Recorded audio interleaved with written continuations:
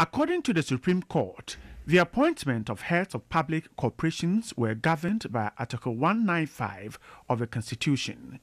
The court held that their removal must be done in accordance with the terms and conditions of their contract of engagement, or it must be justified as stipulated in Article 191 of the Constitution. Article 195, Clause 1 of the Constitution gives the President the power to appoint public service officers, but with the advice of the governing board of the specific corporation given in consultation with the Public Services Commission. Article 191b states a member of the public service shall not be dismissed or removed from office or reduced in rank or otherwise punished without a just cause. The Supreme Court has, by this decision, repealed the section of the Presidential Transition Act 2012, Act 845, which terminated the appointment of chief executives or director generals of public corporations, statutory boards, and authorities upon the assumption of office of a new president. Other members of the seven member panel were Justice Professor Ni Ashikoti, Justices Jones Dotse, Sule Gbadegbe, Anthony A. Benin, Samuel K. on 4 2017 by legal practitioner, Theophilus Donkor, with Godwin Edudzi Tamakloe as his counsel. Theophilus Donkor invoked the original jurisdiction of the Supreme Court to interpret the 1992 Constitution. Let's now engage a Labour consultant, Ben Arthur, for his perspective on this ruling. And thanks for your time, Mr. Arthur. So as a Labour consultant, you have followed this issue where several CEOs are made to go home after change of government. Does the Supreme Court decision bring finality to the matter? Yeah, thank you very much, and good afternoon to all your viewers and your crew members. I think it does and for a very long time, some of us have held this opinion for, for quite some time, and we argue it out. Last Saturday, coincidentally, I happened to lecture a group of people, and I was citing some of these provisions. It is good. In fact, when the the Presidential Transition Act 2012, that is Act 845, in Section 14, mentioned that when the, there's an outgoing administration, all the appointees of it goes with it and the rest. I started referring to particular acts of parliament that have established public corporations which are not, you know, of commercial interest.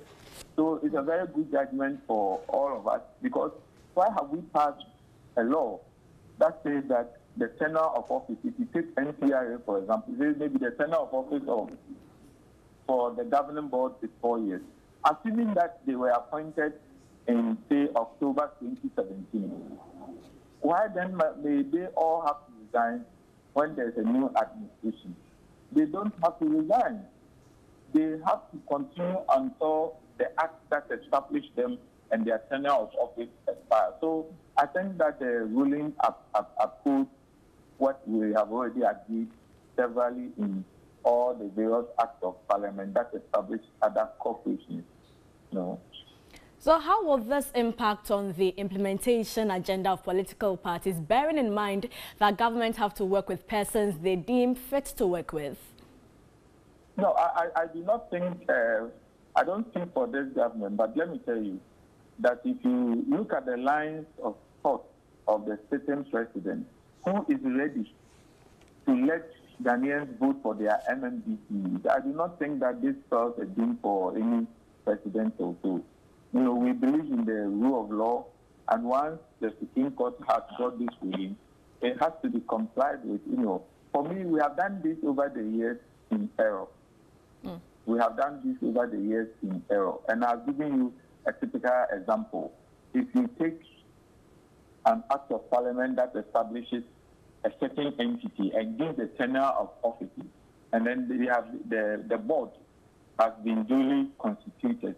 What it means is that until other reasons arise for individuals to be dissolved, I mean, to be taken away from the board, they must serve their term.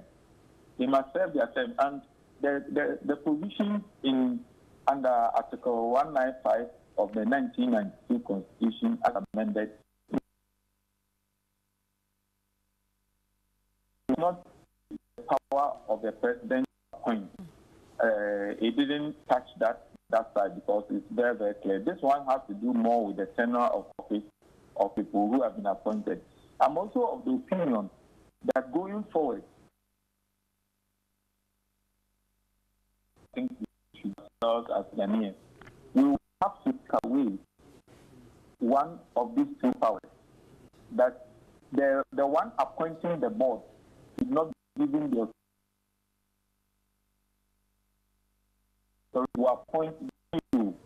Mm. You know, that one too will be very, very helpful. But as we speak now, we don't have any contract provision to that. So we keep on practicing that. But going forward, if we have the opportunity of amending the constitution, we need to do so so that CEOs will duly report to their boss. All right. Thank you very much for your time. And Ben Arthur is a labor consultant.